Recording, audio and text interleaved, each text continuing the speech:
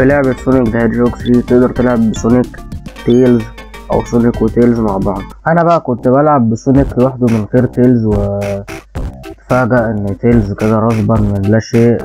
في نهاية الأكت الأول فمعرفش ده حصل إزاي تيلز ليه؟ انت زعلان من حاجة اسطى؟